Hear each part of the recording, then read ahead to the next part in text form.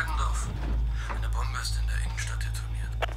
Es war ein Anschlag mit einer Biowaffe. Wir sind hier mitten in der Quarantänezone. Das Virus breitet sich da draußen rasend schnell aus. Was für ein Virus soll das denn sein?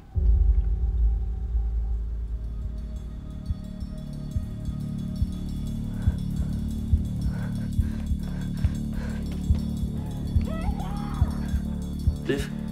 Die Biowaffe da draußen basiert auf ihrem genialen Impfstoff. Sie sind ja irre! Ein Luftzug von draußen und wir sind tot. Und was ist, wenn der Typ recht hat? Er hat einen Lebenstraum verkauft.